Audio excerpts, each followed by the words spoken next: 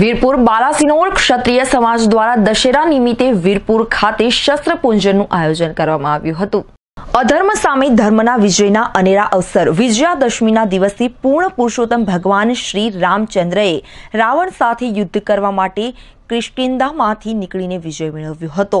એટલું જ નહીં, પાંડવોએ ગુપ્તવાસ બાદ શમી વૃક્ષ પરથી તેઓએ સંતાડેલા તમામ શસ્ત્રો ઉતારીને તેનું શાસ્ત્રોક્ત રીતે પૂજન અર્ચન કર્યું હતું.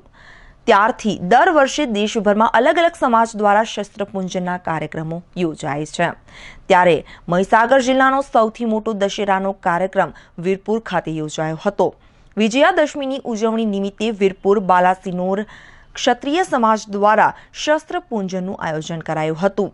એસઆર પેટ્રોલ પંપથી પરંપરાગત પોશાક ધારણ કરી ક્ષત્રિય સમાજના યુવાનોએ વિશાળ રેલી કાઢ્યા બાદ વિરાજી બારિયા સર્કલ પાસે આગેવાનોની ઉપસ્થિતિ વચ્ચે વિરાજ બારિયાની પ્રતિમાને ફૂલહાર અને તલવાર બદલાવાઈ હતી.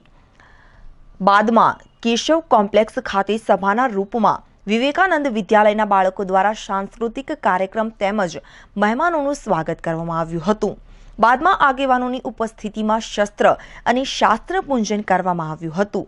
આ કાર્યક્રમમાં સાંસદ રતનસિંહ રાઠોડ, ધારાસભ્ય અજીતસિંહ ચૌહાણ, મહીસાગર જિલ્લાના ભાજપ યુવા મોરચાના પ્રમુખ કેતનસિંહ ઝાલા, જિલ્લા પંચાયત સદસ્ય પ્રતિનિધિ એસબી ખાંટ, ક્ષત્રિય સમાજ બાલાસિનોર પ્રમુખ કિરીટસિંહ ઝાલા, ક્ષત્રિય સમાજના આગેવાન યુ કે ઠાકોર, પૂર્વ તાલુકા પ્રમુખ અજમેલસિંહ પરમાર પૂર્વ જિલ્લા સદસ્ય પાલીખંડા ઉદયસિંહ ચૌહાણ પૂર્વ પ્રમુખ વીરપુર સીઆર ઝાલા ક્ષત્રિય સમાજ કન્વીનર વીરપુર હિંમતસિંહ ઠાકોર પૂર્વ સદસ્ય વીરપુર નાથસિંહ પરમાર વીરપુર સરપંચ પ્રતિનિધિ પારુલભાઈ સોની સહિતના ક્ષત્રિય સમાજના આગેવાનો ઉપસ્થિત રહ્યા હતા અને દશેરા નિમિત્તે ભવ્ય ઉજવણી કરવામાં આવી હતી.